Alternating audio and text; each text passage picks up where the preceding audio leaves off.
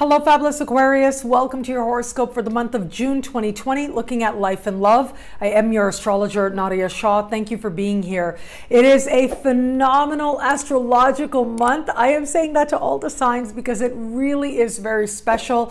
I do think that when we reflect back on 2020 and all the very powerful things taking place this year, I do think that June is going to stand out for many reasons, and they have to, of course, do with the very powerful astrological events taking place.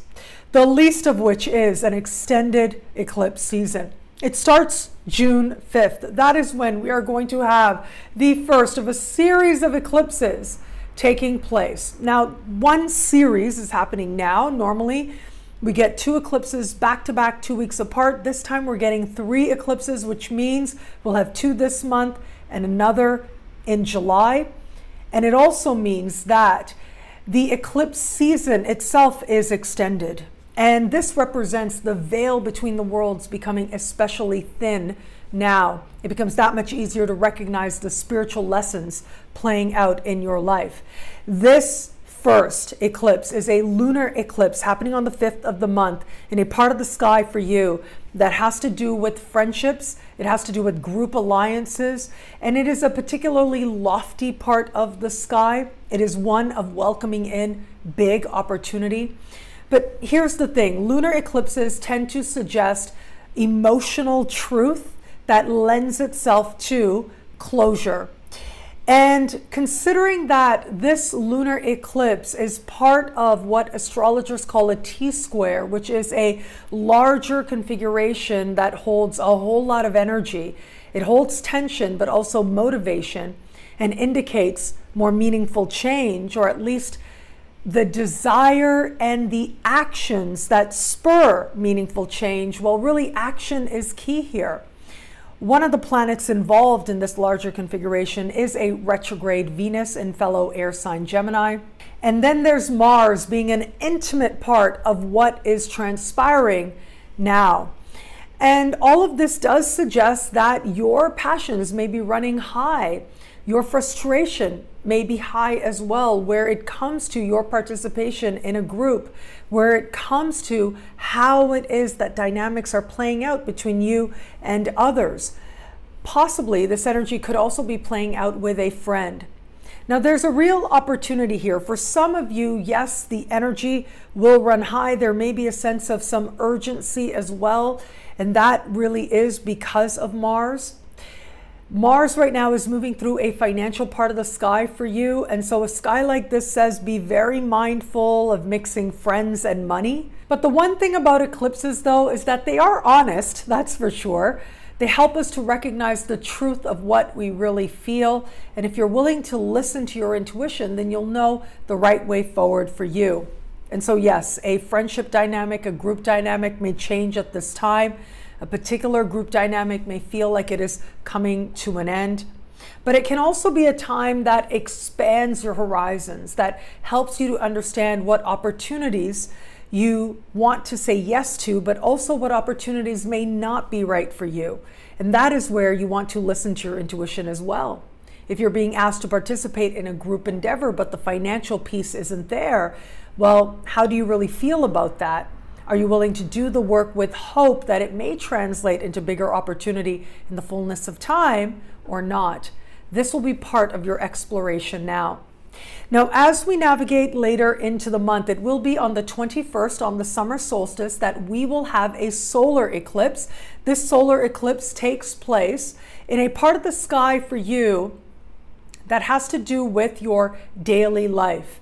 This has to do with the work you're doing, the people who surround you there, which I know is a hit or miss depending on where you are on the planet and your level of social distancing taking place now. It has to do with your tasks, your clients, your customers, your immediate supervisors. This part of the sky also connects to your health related habits, how well you are taking care of you. And this solar eclipse is the last of a series of eclipses that has been taking place in this part of the sky for the better part of the last two years. Your work in some way has changed, whether it is how you approach it, whether it is what you're doing, whether it is whom it is is part of the work that you're doing. There has been moments where you have been invited to move forward, to make changes, to welcome in new people, or to close certain doors.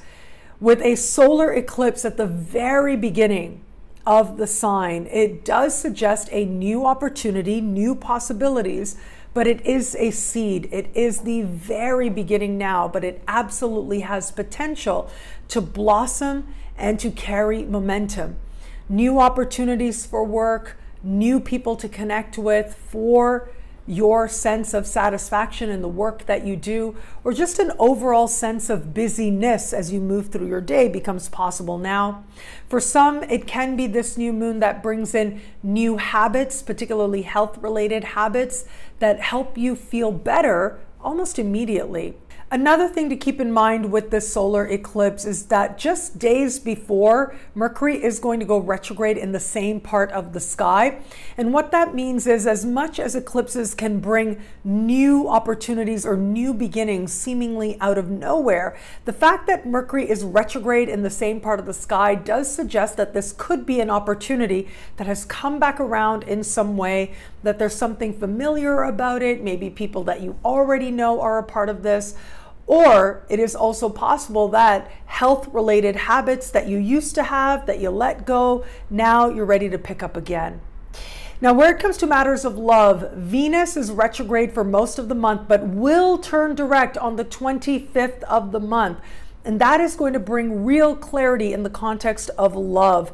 If it is that you are open to meeting someone new, well, I do think that this month the energy of reconnecting with people is that much more likely. If it has felt like someone is in the ether, but it hasn't really become anything solid, as Venus goes direct, you will know where it is you stand and whether or not this is someone that you think there is potential there with. It could be that you hear from someone again that you haven't heard from in a while, and you'll get a chance to get another look to see if there could be something here.